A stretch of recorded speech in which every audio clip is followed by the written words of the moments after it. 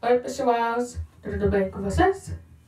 E como é que tá as coisas aí? Tudo bom, né?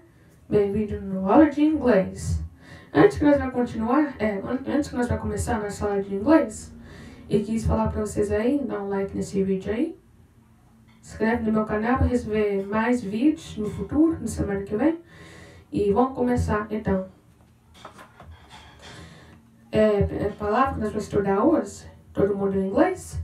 Everyone. Everyone. E também, que tem outro sinônimo, everybody. Everybody. Esses dois é sinônimos. É todo mundo em inglês, é assim que se fala aí.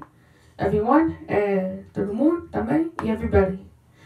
Esse aí você pode usar qualquer sentence, não é, é, é limite para não usar. Você pode usar qualquer sentence, esses dois aí, everyone everybody.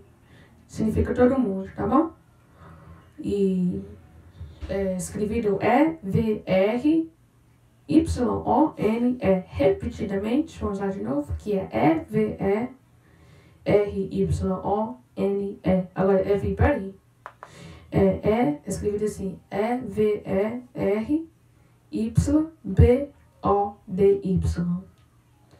Repetidamente, E-V-E-R Y-B-O-D-Y. A diferença desse, é, desses dois aí, que está escrito, esse não, mas estou falando assim, que a diferença de, de como é que é escrito isso, é que tem um, um everyone, na palavra everyone aí, tem a palavra é, escrito O-N-E, aqui ó, esse parte aqui ó. Tá vendo? Mas everybody não está escrito assim não. escrevido B-O-D-Y. Essa é a diferença desses dois, tá bom? Vou deixar aqui na tela para você ver. E esse vídeo vai acabar agora. Muito obrigado por você vir aí, esse vídeo. Dá um like.